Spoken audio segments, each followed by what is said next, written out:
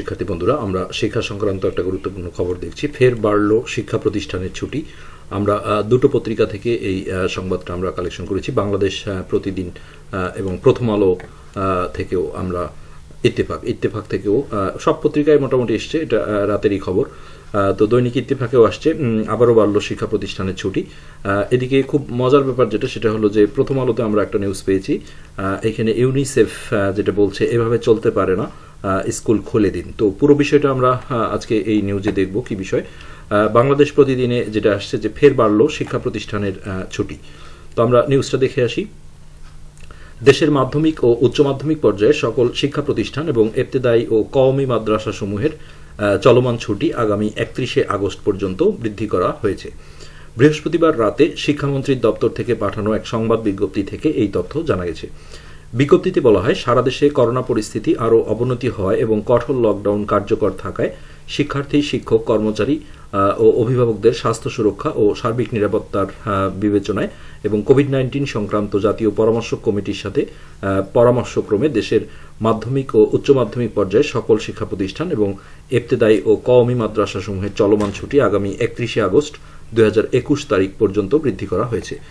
ঠিক একই রকম নিউজ দৈনিক ইত্তেফাকেও আসছে। তো এখানেও একই রকমই বলা হয়েছে। বৃহস্পতিবার উনত্রিশে জুলাই রাতে শিক্ষা মন্ত্রণালয়ের এক সংবাদ বিজ্ঞপ্তির মাধ্যমে এই তথ্য জানানো হয়েছে। বিজ্ঞপ্তিতে বলা হয় সারা দেশে ওই একই বিষয় খবরটা তবে আমরা খবরের যে নতুনত্বটা দেখব সেটা হলো ইউনিসেফের যে খবরটা প্রথম আলোতে আসছে এটা যে এভাবে চলতে পারে না স্কুল খুলে দিন। তো আমরা দেখি এভাবে স্কুল বন্ধ এটা চলতে পারে না। দেশের আহ, বিভিন্ন দেশের সরকার কোভিড নাইন্টিন সংকট মোকাবেলা ও এই রোগের বিস্তার যতটা সম্ভব কমিয়ে রাখার জন্য নানা পদক্ষেপ নিয়েছে। তা সত্ত্বেও সবকিছুর মধ্যে সবার শেষে স্কুল বন্ধ করা উচিত। স্কুল খুলে দেওয়ার আগে বিভিন্ন দেশে বার ও পাবগুলো খুলে দেওয়া ভয়াবহ ঘটনা। করোনা ভাইরাসের কারণে বিশ্বের অনেক দেশের স্কুলই বন্ধ। এরই মধ্যে কয়েকটি দেশ স্কুল খুলে দিয়েছে। কোনো কোনো দেশ দেওয়ার পরিকল্পনা করছে। দেড় বছর ধরে শিক্ষা প্রতিষ্ঠান পড়ার সুযোগ পাচ্ছে না শিক্ষার্থীরা।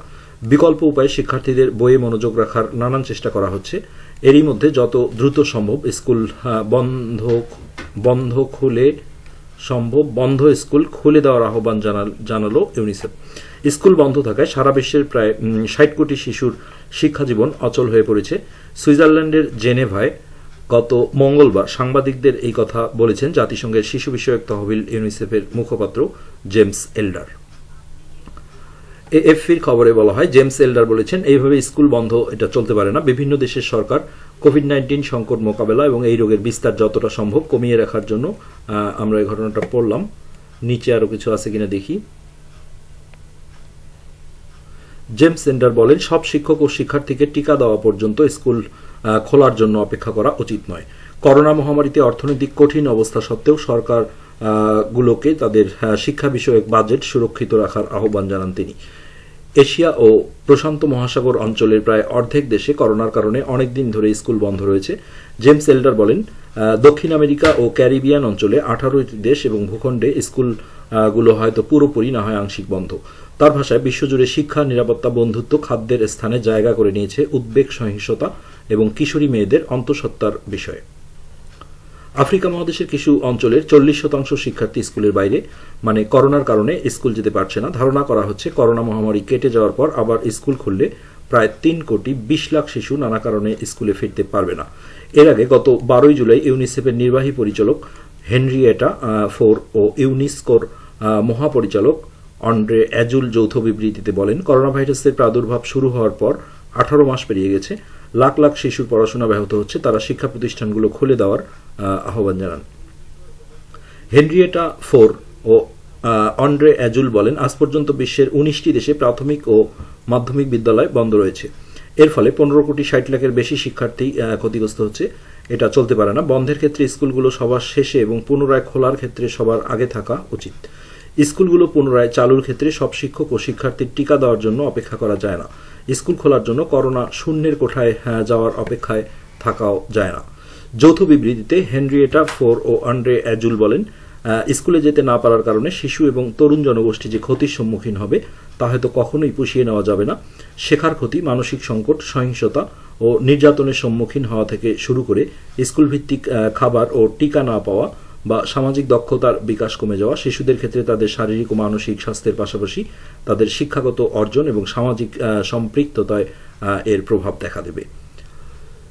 বাংলাদেশে গত আটই মার্চ প্রথম করোনা রোগী শনাক্ত হয়। এরপর গত সতেরোই মার্চ থেকে শিক্ষা প্রতিষ্ঠানগুলো বন্ধ রয়েছে। কয়েক ধাপে ছুটি বাড়ানো হয়েছে। একত্রিশে জুলাই পর্যন্ত শিক্ষা প্রতিষ্ঠান বন্ধের ঘোষণা আছে। শিক্ষা প্রতিষ্ঠানগুলো দীর্ঘদিন বন্ধ থাকায় প্রায় চার কোটি শিক্ষার্থীর পড়াশোনা বিঘ্নিত হচ্ছে। সম্প্রতি একটি বেসরকারি গবেষণায় দেখা গেছে করোনা ভাইরাস জনিত বন্ধে প্রাথমিকের উনিশ শতাংশ এবং মাধ্যমিকের পঁচিশ শতাংশ শিক্ষার্থী শিখতে না পারার বা শিক্ষা ঘাটতির ঝুঁকিতে আছে। এমন অবস্থায় শিক্ষার এই ক্ষতি পুষিয়ে নিতে দীর্ঘমেয়াদী পরিকল্পনার তাগিদ দিচ্ছেন শিক্ষাবিদরা। তাদের অনেকে যেসব এলাকায় সংক্রমণ নেই বা কম সেই সব এলাকায় শিক্ষা প্রতিষ্ঠান খুলে দেওয়ার সুপারিশও করেছেন। তো এটাই ছিল আমাদের আজকের নিউজ। ধন্যবাদ।